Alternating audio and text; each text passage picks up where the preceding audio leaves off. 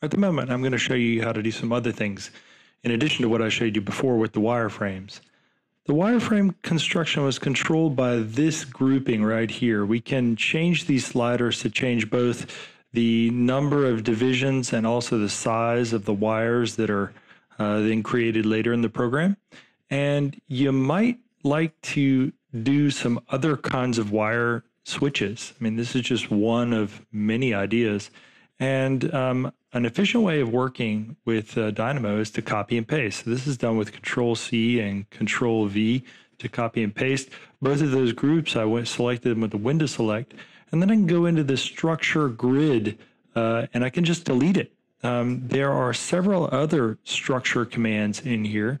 Um, Dynamo is just chock full of uh, commands, and there's always more being added. I don't know them all, but this one right here is, for instance, it's another kind of wire grid. It's a di uh, diagonal, a diamond um, grid.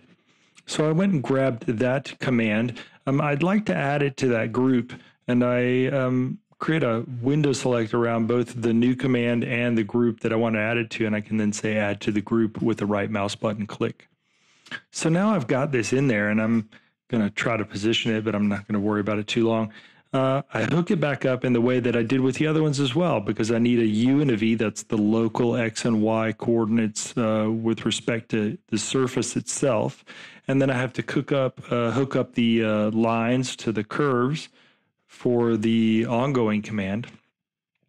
And I do need one other command here. Um, there is a command associated with the diagonal um, structure grid called a Boolean. Um, it decides about whether or not um, the uh, the elements are connected to one another or not. So I do need to hook that up. So I add that, and I also add that to the group just to make everything nice and neat. And uh, then I go back to my original um, surface definition, which was already part of the other ones, and I connect that as well. You'll notice that that's connected to two separate command structures, and that's just fine. And um, once I do that, you'll see that this um, diagonal uh, diamond grid uh, pipe structure shows up. Um, it's a little bit confusing because it's in the exact same place, and I'd like to be able to take a look at it. So I went in and I added another command called translate. A translate just says, well, exact does exactly what it says. It translates uh, geometry or items in the uh, Dynamo um, Dynamo um, geometry window, and it does so by the uh, amount that's defined. So if I took those pipes that I just created from the diamond grid, I hooked them up to the translate command, and then I need to use the number command to say how much I would like to translate those. I just translated them 500 in the X direction here, and that just moves it along. That actually creates a double because each one of these uh, commands has a preview associated with it. So every uh, command I define in Dynamo will preview, will show what it does. And so as a result, I have to go back through and I have to actually turn some of the previews off to make a uh, sense of it all. Before I do that, though, I took that uh, translate command and the number that went with it, and I created a group with that as well, just to keep things nice and neat, and so that somebody coming back later might be able to actually follow what I'm talking about, what I'm doing. Uh, it's also a nice way if I want to reuse that later, I can uh, easily grab it in one fell swoop and do that. Um, just doing some cleanup here, making some things nice, uh, changing some of the values so that you can see that as you change um, my uh, previews update, it always takes a bit of a, a second or two to um, update. The bigger the programs get, the longer this will take. Um, there is an option actually to turn off the automatic update because sometimes if you have very large programs, uh, that update can take quite a bit of time. But in this case, I'm just going to keep it on automatic, turn off some of my previews, make everything nice and neat so that I only have the uh, 3D geometry showing.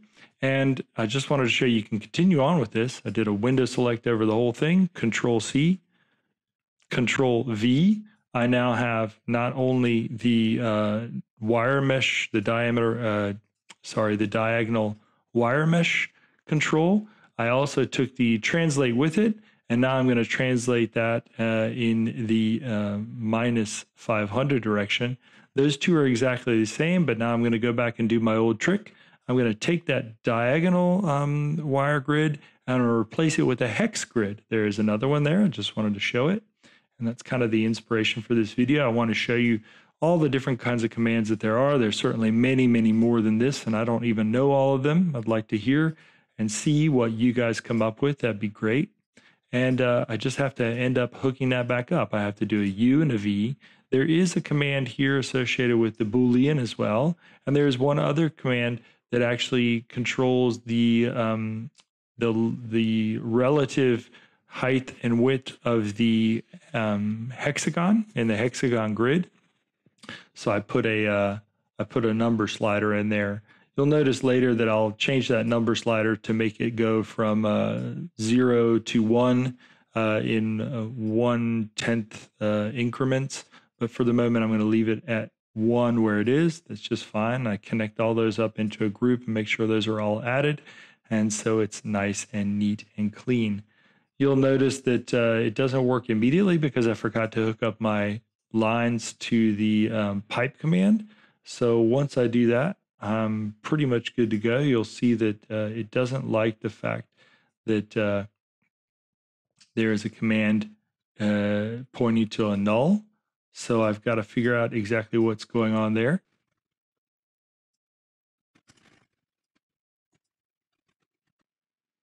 And you'll see simple enough. I forgot to hook up my original surface to the uh, to the command to create the grid meshes there. So you know sometimes as these things get a little bit more complicated, you got to um, look twice, make sure um, where everything's hooked up.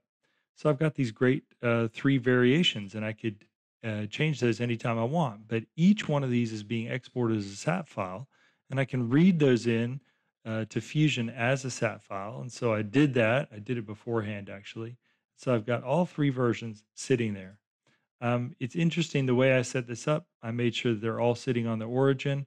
Uh, the ones you see in Dynamo are just translated for your viewing pleasure. Hope this helps. See you soon.